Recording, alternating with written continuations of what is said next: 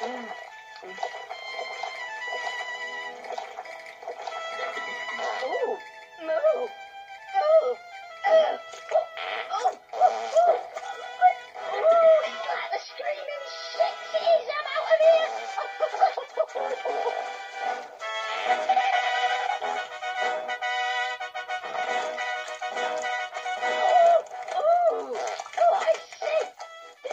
This is from dignified. Oh, I hope Mavis and Olive don't see this.